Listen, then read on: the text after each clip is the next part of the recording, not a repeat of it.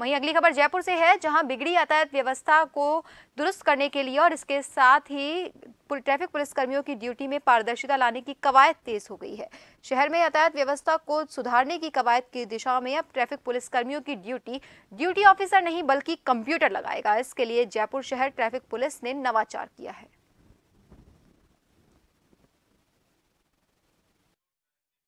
चुनौती है और डेली ये चुनौती ज़्यादा से ज़्यादा कठिन होती जा रही है।